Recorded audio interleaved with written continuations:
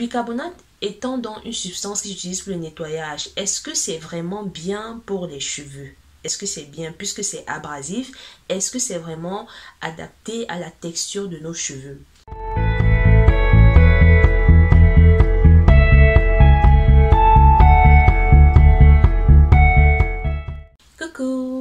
Sur ma chaîne, j'espère que tu vas bien, moi je vais super bien. Je suis Miss Brunel, si tu ne me connais pas, je fais des vidéos sur les cheveux, sur les astuces beauté et sur d'autres thèmes de société. Aujourd'hui, je voulais parler du bicarbonate de soude. Le bicarbonate de soude, c'est un produit que beaucoup de naturels utilisent sur leurs cheveux. Elles l'utilisent souvent en masque ou alors pour se laver même les cheveux. Et le débat sur le bicarbonate est assez controversé parce que il y a beaucoup de naturels qui disent que le bicarbonate agresse leurs cheveux, les a abîmés les cheveux. Par contre, il y a aussi une catégorie qui dit bon, moi, ça m'a fait du bien, ça m'a rendu les cheveux doux et tout. Bon, Déjà, si on regarde le bicarbonate en soi, qu'est-ce que le bicarbonate? Le bicarbonate, normalement, c'est une substance abrasive. Une substance abrasive, c'est une substance qui, par définition, est censée euh, nettoyer, polir les substances dures. Vous l'avez déjà sûrement entendu, beaucoup de personnes utilisent le bicarbonate à la maison pour nettoyer, je sais pas, euh, leur réchaud à gaz, leur cuisinière, euh, même les douches, vraiment pour nettoyer un peu les, les, espaces qui sont très sales.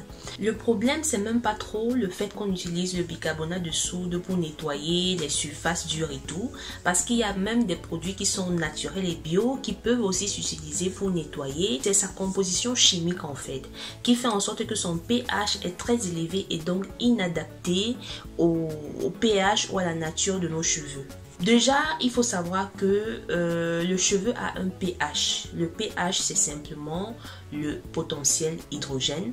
Le potentiel hydrogène, c'est une unité de mesure de l'acidité d'une substance. Et cette unité de mesure va de 1 à 14. Donc, si on se retrouve à 1, ça veut dire que la substance est très acide. Et si on se retrouve à 14, ça veut dire que la substance est très alcaline ou basique. Le pH du bicarbonate est de 9. Donc, c'est une substance alcaline ou basique. Cependant, le pH de nos cheveux est compris entre 4,5 et 5,5. Donc déjà, tu peux voir l'écart qu'il y a entre le pH cheveux et le pH du bicarbonate de soude. Généralement, pour les produits de cheveux, il est recommandé de faire attention euh, au pH de ces produits, à la composition. Je ne sais pas si toi, tu fais attention à ça, parce que euh, des fois, on utilise malheureusement des produits et on ne se rend pas compte que ces produits peut-être ont des pH qui sont agressifs pour nos cheveux. Généralement, il est recommandé d'utiliser des produits dont le pH varie entre 3 et 8. Bon, un produit par exemple que personnellement j'utilise qui a un pH de 3, c'est le citron. Le citron euh, est bon pour les cheveux, c'est un produit qui s'utilise en masque pour dégraisser et tout. Donc maintenant, quand toi tu appliques le bicarbonate de soude tes cheveux, comment ça réagit? Généralement, les naturels l'appliquent quand elles veulent se dégraisser les cheveux, quand peut-être elles ont des cheveux gras et tout. Elles veulent obtenir une certaine souplesse, une certaine flexibilité, un peu de mouvement dans les cheveux. Mais le problème, c'est que le, bicarbonate de soude étant une substance alcaline, quand tu le mets sur tes cheveux et pire encore sur ton cuir chevelu, qui est vraiment une partie aussi très sensible de notre tête, le pH de tes cheveux change automatiquement. Il passe de acide à alcalin. Et qu'est-ce que ça signifie passer de acide à alcalin? Ça veut dire qu'il y a déjà un déséquilibre parce que pour que les cheveux se portent bien, pour qu'ils soient, qu'ils restent hydratés, qu'ils ne soient pas secs, il faut que des produits se rapprochent vers son pH. Comme j'ai dit, 3 et 8 au maximum. L'eau par exemple un pH 7. Le bicarbonate quand il est posé sur tes cheveux va ouvrir les cuticules de tes cheveux, va vraiment fragiliser et arriver même jusqu'au cortex parce que le bicarbonate quand tu l'appliques régulièrement, même quand tu l'appliques la première fois et que tu le laisses poser pendant, euh, je sais pas moi, 30 euh, minutes, une heure, après quand tu le rinces, tu vas te rendre compte que tes cheveux sont devenus plus clairs parce que le bicarbonate est tellement abrasif, ça nettoie tellement en profondeur, ça agresse tellement, ça, ça, ça polie vraiment les surfaces que ça va au point de changer la couleur des cheveux. Par contre, ce que je constate, c'est que les femmes d'origine européenne se trouvent bien avec le bicarbonate de soude par rapport à nous, africaines qui avons les cheveux crépus. Et ceci a une justification parce que le cheveu européen, de par sa nature, est très gras. Voilà, le sébum qui se trouve sur le cuir chevelu du cheveu européen peut migrer facilement, peut quitter du cuir chevelu et migrer facilement jusqu'aux pointes. Pourquoi? Parce que le cheveu européen est lisse, donc c'est facile pour le sébum de se déplacer du cuir chevelu jusqu'aux pointes. Nos cheveux crépus, par contre, c'est pas le cas. On a des cheveux ondulés. Nos cheveux sont en forme de spirale. Ils sont bouclés et tout crépus. Ce qui fait que quand le sébum veut migrer, il migre beaucoup plus lentement et n'arrive pas jusqu'au point. Le sébum peut migrer et s'arrêter à un certain niveau.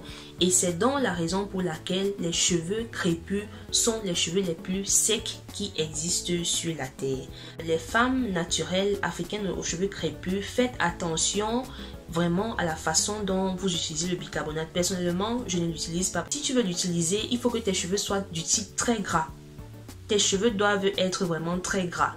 Si tes cheveux ne sont pas très gras et que tu veux obtenir du mouvement sur tes cheveux et que tu veux les rendre légers et tout, vraiment, il y a beaucoup d'autres alternatives que le bicarbonate de soude. Par exemple, le blanc d'œuf qui est bien pour les cheveux gras, pour donner du mouvement aux cheveux. Il y a de l'argile, même le vinaigre de cidre tu peux utiliser. Ce n'est pas obligé vraiment d'utiliser le bicarbonate. Mais bon, comme nous sommes des humains et que euh, un être humain a la capacité de faire le choix, de prendre des décisions et d'assumer. Si tu veux obligatoirement utiliser le bicarbonate, tu as une autre option. Tu peux le mélanger avec euh, une cuillère à soupe de vinaigre de cidre. Pour que tu comprennes mieux ce dont je suis en train de parler, voici un tableau qui te représente différents produits avec leur respectif pH. Sur le côté des produits acides, acidiques, tu peux voir le vinaigre qui est le vinaigre, peu importe, vinaigre de cidre, tout type de vinaigre. Le pH du vinaigre est de 3. Et de l'autre côté, du côté des alcalins, tu peux voir le baking soda qui est le bicarbonate de soude qui a un pH de 9. Donc, en mélangeant le vinaigre et le bicarbonate de soude, tu obtiens une substance qui se rapproche du pH neutre, qui est plus du côté neutre que acide ou basique. Et cette nouvelle substance que tu obtiens est moins agressive que le bicarbonate de soude appliqué seul sur tes cheveux. N'utilise pas euh, ce mélange bicarbonate-vinaigre tout le temps. Utilise-le vraiment euh, occasionnellement. C'est important, c'est mieux pour la santé de tes cheveux. Voilà, c'est tout pour la vidéo d'aujourd'hui. J'espère que tu as aimé. Si c'est le cas, n'hésite pas à partager et surtout abonne-toi si tu n'es pas abonné pour ne pas rater les prochaines vidéos. Et laisse-moi un commentaire s'il te plaît. Ne regarde pas la vidéo et tu passes sans laisser un commentaire. J'aime bien lire les commentaires pour savoir ce que les gens pensent. Je suis là pour partager et j'aimerais aussi que vous partagez avec moi vos avis sur ce que je dis dans mes vidéos. Voilà, je te remercie d'avoir regardé et je te donne rendez-vous dans ma prochaine vidéo.